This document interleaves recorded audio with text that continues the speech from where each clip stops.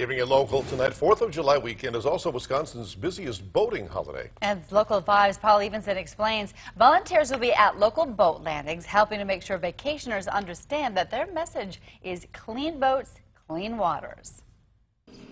The holiday weekend is only beginning, and already local boat landings are a busy place.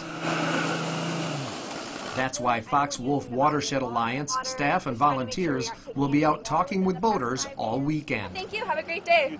It's all part of their Clean Boats, Clean Waters landing blitz. Our motto is inspect, remove, drain, never move. That's kind of what we all talk, and those are kind of the prevention measures that everyone should be taking. The group reminding boaters to do their part when it comes to preventing invasive species in Wisconsin waterways.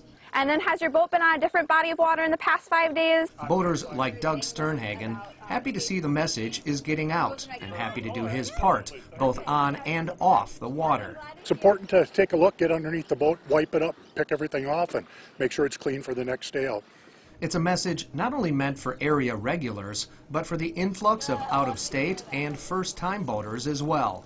Obviously, it's a big tourist weekend, and uh, not everyone's familiar with the uh, current situation or the current rules. So it's a good idea just to remind folks, and they can help us too. So they don't want to take these species back to their home lakes. When you get those first-time boaters, it's really important to be making sure that they're doing their part and removing any vegetation, draining water, and that's kind of why we're out here, making sure we're talking to them. Megan, happy to spend a portion of her holiday helping to ensure her own family can continue to enjoy these waters for years to come.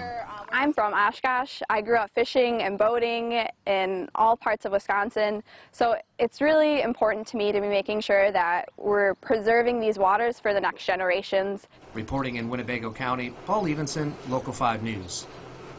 Clean Boats, Clean Waters volunteers will be out at local boat landings through July 7th. Last year, the group inspected over 9,000 boats and spoke with more than 18,000 people.